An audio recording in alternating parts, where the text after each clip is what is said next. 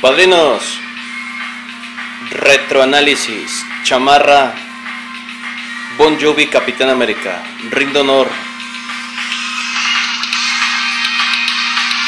al capitán, larga vida al centinela de la libertad.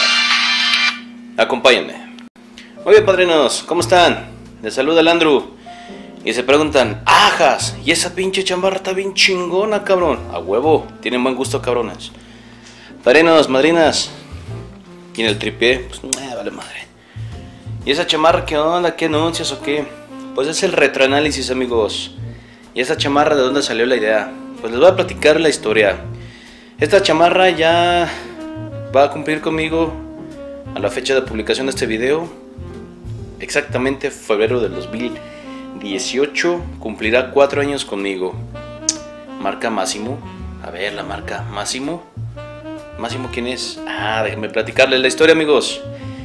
Esta chamarra salió allá por el concierto de Bon Jovi en Quebec en el 2012. La puso de moda en uno de los conciertos.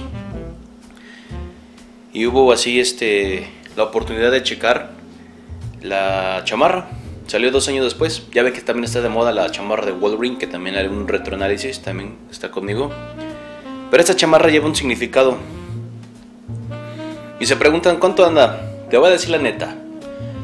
A precio como yo la compré y llegando al fabricante, como unos 2000 varos, 1400 en ese entonces. Han de estar como unos 1800. Por la cuestión de la inflación, mano de obra y costo. Realmente a mí me salió patiendo costos y yendo directamente con el fabricante máximo. Pues fui a la ciudad de León, Guanajuato.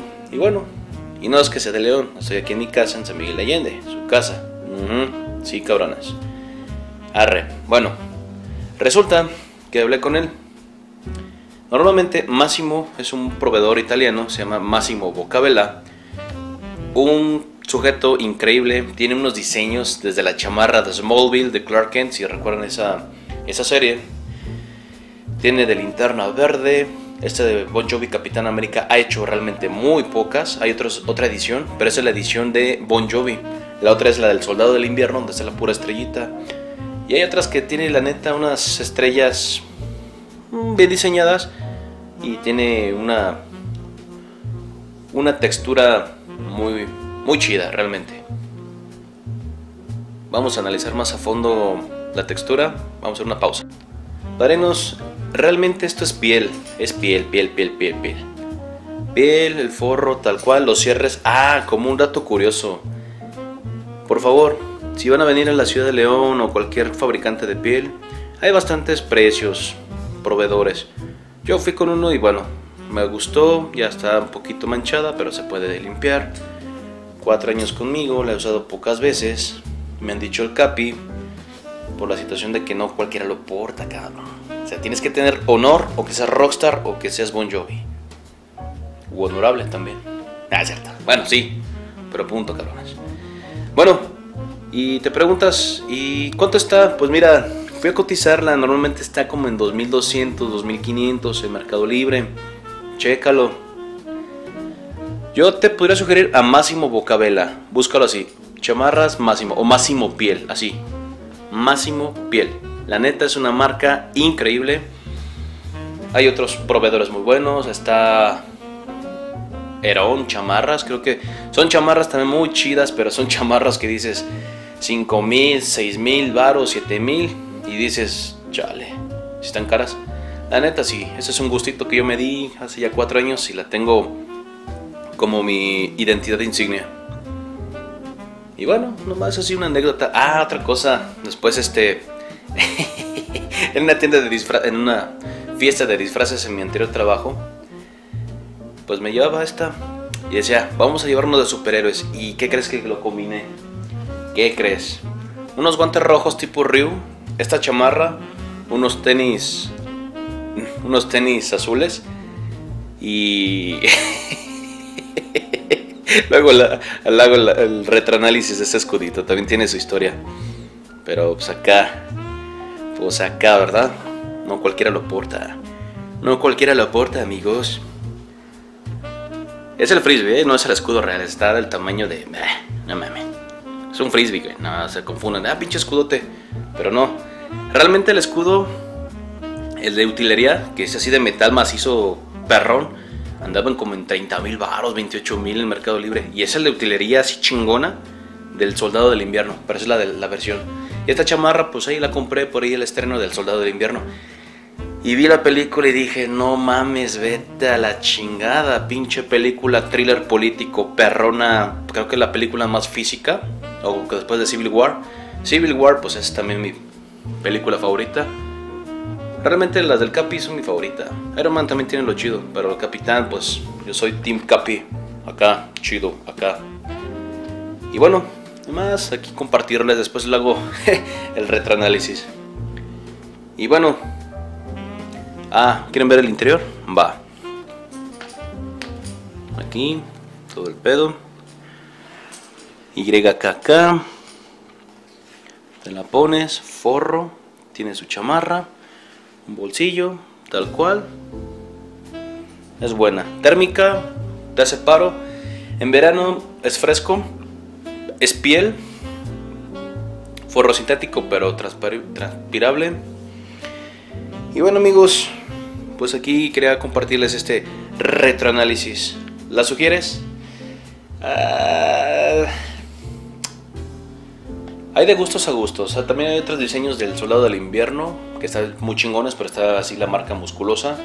Yo la sugerí así porque, pues bueno, ya una vez puesta, ahí les pongo la fotografía. Ahí está.